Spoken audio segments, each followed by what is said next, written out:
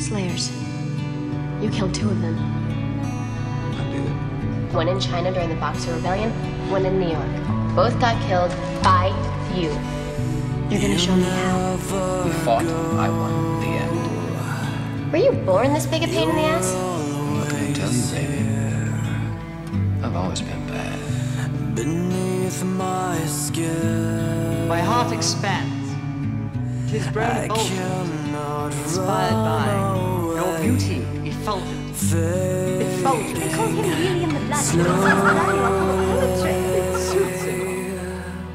I know I'm a bad poet. I'm a good man. You are nothing to me, William. I see a man surrounded by fools who cannot see his strength, his vision, his glory. Becoming a vampire is a profound and powerful experience. Getting killed made me feel alive for the very first time.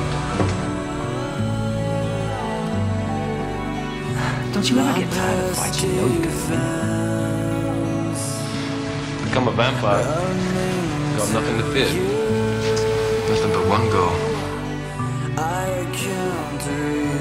After that, I was obsessed. I mean, to most vampires, Slayer was a subject of cold sweat and frightened whispers. But I never hid. Ooh, Spike. Look at the wonderful mess you've made. The best night of my life. You got off on it. Well, yeah. I suppose you're telling me you don't. Well, you can kill a hundred, a thousand, a thousand, thousand, and the armies of hell besides. And all we need Would be what?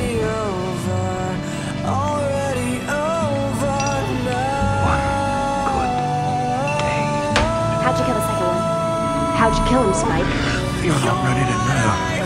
I'm ready. The question isn't how they win. The question is why'd they lose? Every slayer has a death wish. Death is your art. You make it with your hands day after day. That final gasp, that look of peace. Part of you is desperate to know what's it like. Sooner or later, you're gonna want it. And the second, the second that happens, you know I'll be there. Have myself a real good day.